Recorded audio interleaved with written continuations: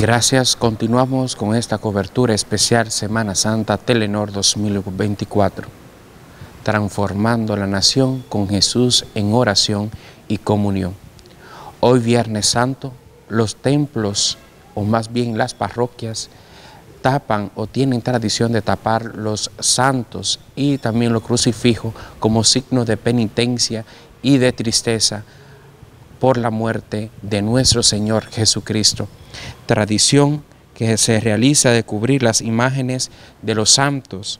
Se busca simbolizar el luto y la tristeza por la muerte de Jesús, así como concentrar la atención y la oración en el sacrificio redentor que realiza en la cruz.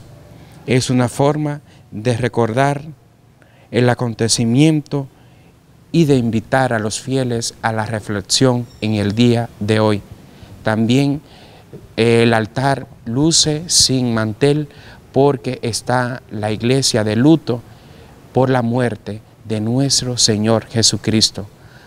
Por ende invita a todos los fieles a la reflexión, a la meditación en el día de hoy.